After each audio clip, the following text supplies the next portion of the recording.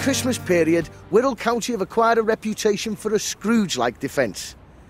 That Scrooge, at the end of a Christmas carol, generously giving away goal after goal after goal. I caught up with coach David Dodds, who was surprisingly upbeat. To be fair, I think we are starting to show some consistency. We're bottom of the league. Yeah, yeah, but we are consistently bottom of the league, so the only way is up. Unless we get relegated. Yeah, as you say, that would be further down again. Good point. Good point. Bassett is back this Saturday, and let's hope he'll have three points in the bag against the behemoth, Scunthorpe. Push up, boys, that's it. Go all out for the equaliser. Attack, attack, attack. No, not too far. Get back, get back. Oh, yes. Cracking strike though, boss.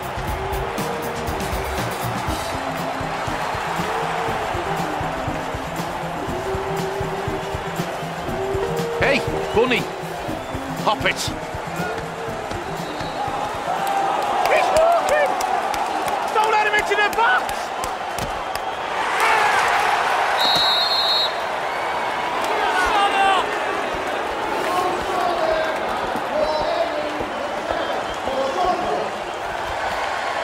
Don't tell me you got the sack from your old Disney.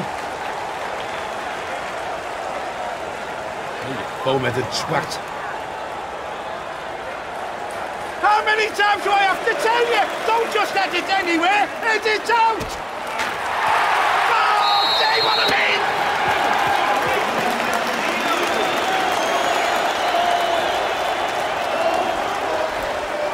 Referee!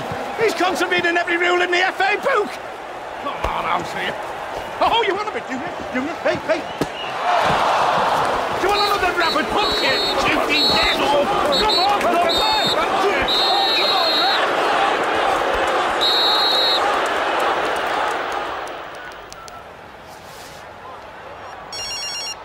Hello? Hello, Doddsy, can you hear me, lad? Loud and clear, boss. OK, now look. Tell Jeremy to tuck in on the left. What? Tell Jeremy to tuck in on the left. Hang, hang on a minute. I'm sorry, love, I can't talk now. I'm in the middle of a game. I'm locked out, Mike, and I'm meant to be cutting someone's hair in about five minutes. Middle of the game, boss. What? Have you got the spare keys? You want Jeremy in the middle? No, on the left. On the left of what? No, I'm talking to Doddsy, love, love. Just try, ra- try round the back. I have, it's locked. Jeremy round the back, boss. Will you shut up? Don't tell me to shut up, Mike. No, not you, love, look. Go next door and try and get him off the neighbours. Get him off, bring on neighbours. Got it, boss. Will do. Not neighbours. He's injured, you bloody idiot. I am not a bloody idiot, Mike. I'm not talking to you, love. I'm not. I'm, Jesus.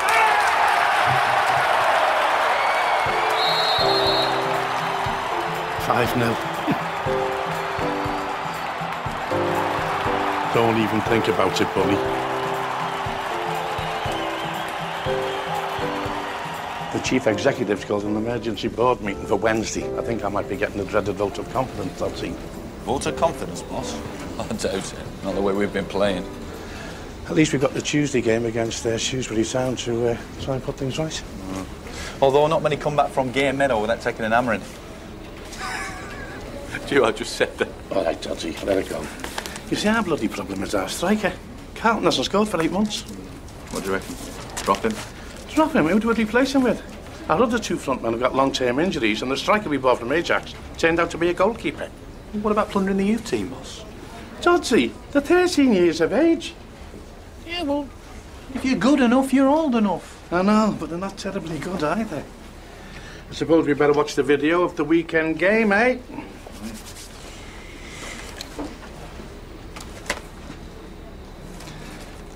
You've got the wrong one. That's Under Siege 2. Well, we could watch it anyway. It might give some ideas.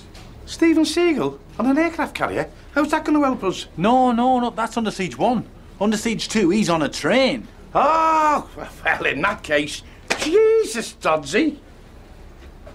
I tell you what, if things get any worse, they can film Under Siege 3 in our goalmouth. First time I met Mike, I was 17 and he was 32, and when you're that age, that's like 15 years older than you. I was giving Paul Magley a bum cut at the time. And when I turned round and I said, Who's next? Mike was stood right in front of me, and suddenly it was. Oh, it was like I'd known him all my life. He asked me over to watch him play for Crewe against Darlington the next Saturday, but luckily I had a prior engagement. However, the following weekend he was dropped from the team, so we went to see Zombie Dawn of the Dead at the Barnsley Odeon. And from there, I've never looked back. Ah. Love, I'm home. I tell you what, I've had a right bloody. Day. Who are you? No, she'll be out in a minute. Just finishing up. Love, there's a funny little woman walking around. Jesus, what, what, what are you lot doing? These are my customers, Mike. Hello there. Hello. Oh, I'd luck against Scunthorpe on Saturday. Oh, thanks. Difficult side to break down. Next time you should use your wide players to stretch their back line. Right, well, if I need any advice, I, uh, I know where to come. And you've got a lot of pace in midfield. It would be nice to see some balls threaded into the channels. Oh, you as well, eh? With righty's left peg pinging crosses in from the byline, Carlton will be able to use his strength in the air to dominate the six yard box. Oh, all right, Hanston and Loddleton, get your coats on and. Thank you, ladies. Bye bye. See you next week. Thank Bye. Bye. I never thought we were going to leave. So, is uh, business doing all right? Yes, booming. How about you? Uh, I've had better weeks. Oh, Well, I'll be back.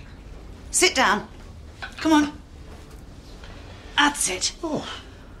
Oh, you, you must try and relax. Now, try and imagine that you're in a in a quiet, undisturbed spot. Can you see it? Yeah. Scunthorpe's goalmouth on Saturday. Mike, you really have to try and conquer this stress. You should read this. Unlock the power of the mind. More like empty the pockets of the gullible. No, no, no, it's very good. It's that Dr. Moss. He does a lot of sports psychology stuff. I remember that fella off the television. It's Mesmos, isn't it? Eh? He used to have his own hypnotism show in the 1980s. What was it? Mystical Mesmos. Well, he's doing all right now. He helped the Greek football team to win Euro 2004. Eh, eh, just give us it back a minute. I would now like you to read a copy of today's Times. There we are, today's paper, as you can see. Could you read that out for us, please? Average British Rail and London transport fares are set to increase. Bouncy, bouncy, squeeze one out, Staff Sergeant. I'm a random bum taker. What's Some this bit? He drops his trousers likely in, what- to be 8%. 8%. All right, lads, I'd, uh, I'd like you to meet Dr. Moss. Will you turn that off, please? I'm a psychoanalyst with a PhD from Reading University. I don't like being treated as a circus sideshow. Yeah, You should show a bit of respect, Doddsy. This man's a bona fide nut doctor. Uh, my apologies, Dr. Mesmos. Oh, it's Moss, Dr. Moss. Yes, that's what I meant. All right, Doddsy, get the lads outside. Uh, make sure it doesn't happen again. Right, lads, come on, quick, smart now. Come on, lads, move it now, please. Come on. Uh, not you, Carlton. Now, Carlton, we're going to start with a simple test. I'm going to say a word, and I want you to say the first word that comes into your head. All right? Goal.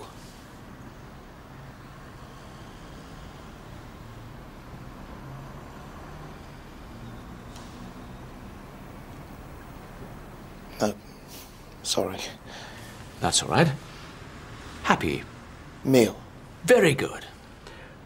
Off. Side. Clear. Miss. Hope. Less. Half. Wit. Good. God. No, I mean you're doing very well. Oh, right. Is that everything then, boss?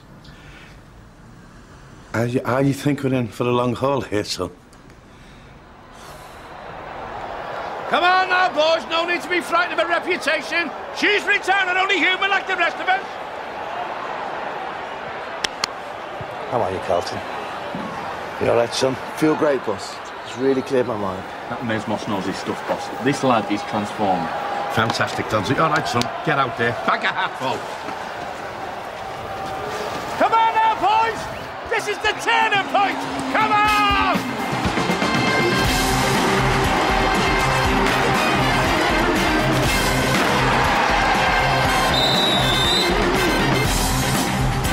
three goals all in his own net.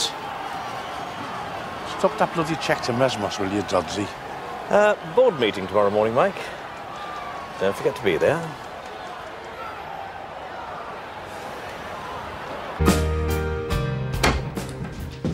Mike, glad you could make it.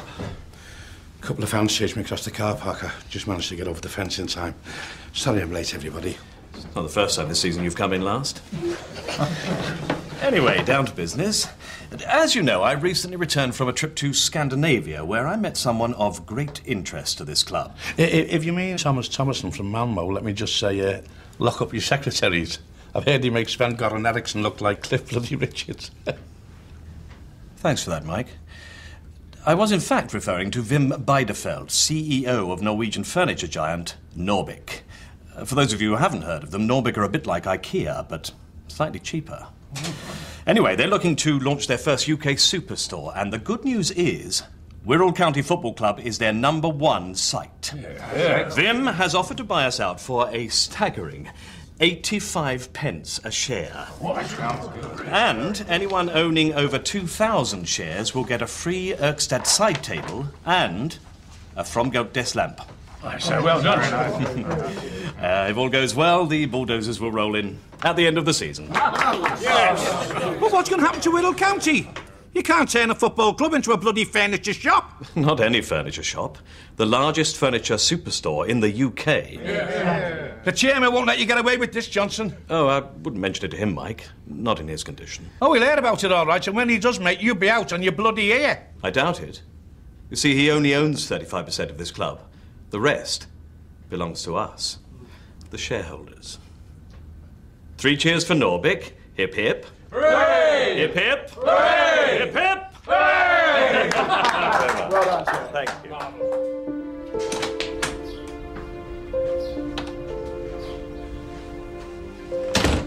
Love, this has to be the worst day of my entire. All right there. Mrs. Wainwright's just leaving. See you again next week, Mrs. Wainwright. Bye. Bye bye. You haven't got any more lurking in here, have you? No last one of the day. So what's happened? You haven't been given the chop again, have you? Oh, it's worse than that. They want to bulldoze the stadium and replace it with a furniture superstore. What, like an IKEA? No, some cheap Norwegian outfit. Oh. Well, the club is on its last legs. Maybe it's for the best. Well, they can't just kill it off, love, can they? Eh, your relationship with your club, it's like a. It's, it's, it's like a marriage. You have your highs and your lows. And your really lows? Yeah. But you go back week after week because football gives you hope. You don't get hope from a flat pack shelving unit, do you? The only hope you get is that the bugger doesn't fall down. So what are you going to do about it? What can I do? It's all been sewn up by the board. That doesn't sound like the Mike Bassett I know. Did you give up when Norwich were trailing Chelsea 4 0 in the Rumbelows Cup? No, I did not. No, you didn't. You went on to win it 5 4 in the last minute. Till Swindon knocked you out in the quarter-finals. Oh, yeah. No, what you've got to do is take this to the people. You've got to say to them, this is your club and you've got to fight for it. Do you know what? You're right, love. And if you want some furniture, why not try World of Leather in Runcorn? It's only 20 minutes drive away. That's the spirit. Save the county, ladies and gentlemen. Your county needs you. Save the county! Save the county! Save. Aidan Swatton. Laszlo, no! He didn't mean it, Laszlo! Let him live, son! Let him live! Sorry about that, mate. There we go. Save the county. What's this? Well, they're trying to close our football club down, aren't they? And replace it with a giant furniture store. Oh, fantastic. Thanks. I don't think we're getting through to people, Doddsy. Ah, here they are. There's the press now. Hey, are, lads. Is this what you've come for? Okay. Now hear this, people of Ellesmere Port. The Wirral County Board plan to sell off your club and build a furniture superstore in its place. Now we're talking three floors of retail space spread over 27,000 square feet. They'll be offering a range of cheap Scandinavian flat pack furniture. Oh, oh, oh, oh, oh, there's more. There's going to be a creche, park and ride facilities, and a restaurant offering a wide selection of meatballs. Are you just going to sit back and let that happen? Hello,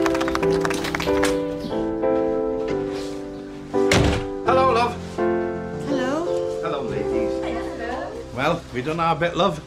So I see. Hey? Oh, I bet you Johnson's shaking in his boots.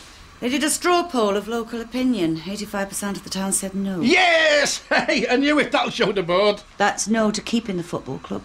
Hey? Jesus! I better stop the chairman from seeing this, hey? It could send him over the edge. Bye bye, ladies. Bye. Industrial fireworks was pushed through the door of the house on Alderwood Avenue. Just a minute. I'll take Sedentals then. Thank you. Genesis Appeal Charity says symbols around 1% of cases. Police investigating the death of a man in Manchester have made a renewed Hello, Sir Denzel. to track down his killers. Mike Bassett. 11 people have been arrested in connection Wirral manager. Have you uh, have you seen the news today? with vital evidence to Paul's death. No, no. Good, good. Sports news now. It looks like Wirral County Football Club is being sold off. Plans are afoot to turn it into a massive furniture superstore. Oh, you don't want to be listening to that bloody stuff. Turn it off. Have you got the bloody disinterested in control, Sir Denzel? Spread over Hey, take it and just shut down, 27,000 square feet.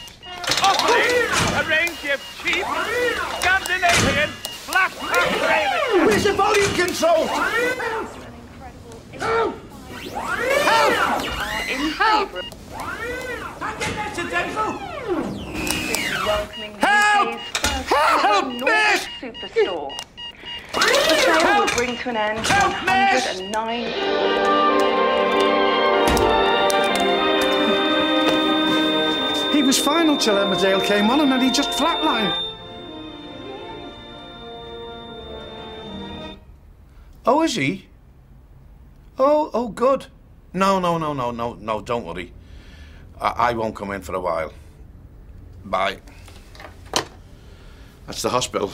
The chairman's in a stable condition. Thank God, boss. Which is more than can be said for this football club. Come in. Mike, just wanted to thank you for all the great publicity yesterday. The club sale really seems to have caught the public mood. All right, Johnson, go and gloat elsewhere. Actually, I've got something to see you. Wim Beidefeld, head of Norbic. He's a big fan. Nice work, Mike. As a small thank you, we'd like to send you a Fromgeld table lamp and a Lodstrom desk tidy. You keep it by the felt. I don't want your blood money. Oh, careful, Mike. Still need somebody to manage the store. Go on, get out now, the two of you. Right now, I've still got a football club to run. Not for much longer. We've got a press conference this afternoon. We're going public. See ya. Goodbye.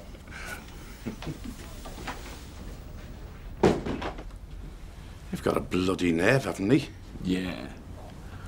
Still, if you're sure you don't want that table lamp. What do you want, Moss? Mr. Bassett. Now, that cheque you wrote me bounced. Are you going to pay up or what? As though we haven't got enough to contend with. Doddsy, throw this charlatan out of my office. Come on, son. Take your hands off me. Have you any idea who I am? I, I, I, hang on a minute, Doddsy. I've, uh, I've just had a thought.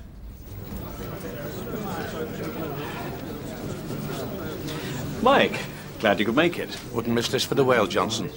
Ah, Mr. Biderfeld, have you met my associate, Dr. Moss? How do you do? Good luck with your conference. No, you don't need luck when you hold all the aces, Mike.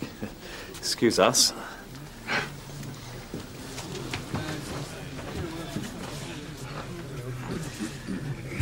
Uh, Ladies and gentlemen, as I'm sure you've heard, Wirral County Football Club will be replaced at the end of this season by the largest furniture superstore in the UK. This is thanks to our alliance with Wim Beidefeld of Norbic, who will now read a prepared statement. Thank you, Richard. Uh, we at Norbeck very much look forward to working with you, the people of the Wirral. You more than anyone have the reputation throughout Europe of being a bunch of thieving bastards, and nothing will give us more pleasure than fleecing you of your hard-earned disability benefit, selling you overpriced tat, which takes two days to assemble, but which falls apart in under an hour. But first, let's bulldoze this shithole and remove your second-class culture, replacing it with third-class third class. And now I'd like to show you my Norwegian art. I bloody love that one, boss. Look at that dodgy lad. Wim Weiderfeld chased out of town by angry locals.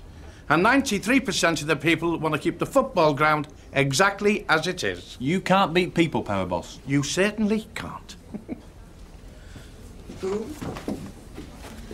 All right, Johnson. Managed to get through the crowds all right?